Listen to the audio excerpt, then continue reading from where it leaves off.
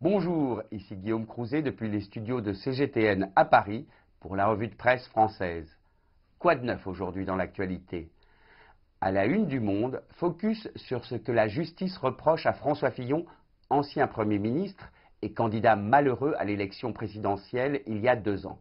Mis en examen pendant sa campagne, le parquet financier vient de demander son renvoi et celui de son épouse Pénélope en correctionnel pour escroquerie aggravée. Politique toujours à la une du Figaro, avec l'analyse de la lettre du président Macron à tous les Français. Transformons les colères en solutions, propose-t-il. Un souhait difficile alors que le mouvement des Gilets jaunes se poursuit. Libération lui aussi présente de larges extraits de la copie présidentielle, une missive jugée toutefois comme un écrit de rattrapage, preuve que la solution est tendue. Sujet de société dans Courrier International qui pointe du doigt le casse-tête mondial du recyclage des déchets. La Chine ne veut plus être la poubelle du monde, écrit le magazine. Depuis qu'elle a interdit il y a un an l'importation de nombreux déchets, c'est l'Asie du Sud-Est qui absorbe le rebut des pays développés, dans des conditions désastreuses.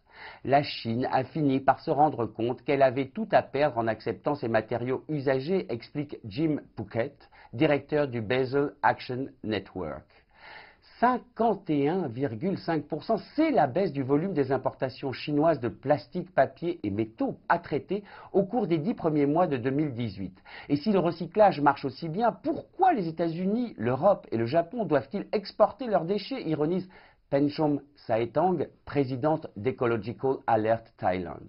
D'ailleurs, qui génère le plus de déchets dans le monde? Voici quelques chiffres par jour et par habitant. États-Unis 2,24 kg, France 1,38 kg, Brésil 1,04 kg, Inde 0,57 kg et la Chine moins d'un demi-kilo. Question internationale, toujours dans le journal du dimanche, qui écrit que les députés britanniques doivent se prononcer à partir de mardi cette semaine sur le texte négocié entre leur gouvernement et l'Union européenne. Et qu'il n'y a pas une chance sur mille que cela soit voté dans les délais. La BBC pronostique d'ailleurs une cuisante défaite au Parlement à ce sujet pour Theresa May, de quoi pousser la Première ministre anglaise à présenter une explosive démission. Enfin, terminons cette revue de presse avec une guerre racontée dans l'Express, celle qui oppose depuis une dizaine d'années une famille russe et l'État français. La jeune Tatiana Rajevskaya, fille de la bourgeoisie russe, était venue à Paris étudier la médecine en 1910. À la suite d'un chagrin d'amour, elle se suicide et sa famille décide de l'enterrer au cimetière de Montparnasse et d'honorer sa mémoire en commandant à un artiste inconnu une sculpture d'un couple s'embrassant. Or, le sculpteur est aujourd'hui l'un des artistes les plus cotés au monde. C'est Constantin Brancusi, élève de Rodin, et dont une œuvre, en mai dernier, a été vendue plus de 71 millions de dollars chez Christie's.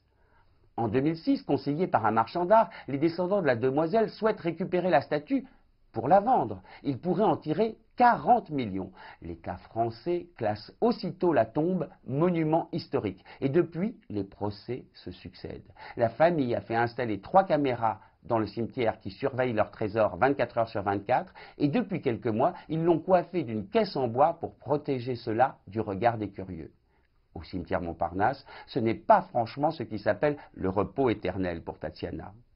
C'était Guillaume Crouzet depuis les studios de CGTN à Paris pour la revue de presse française.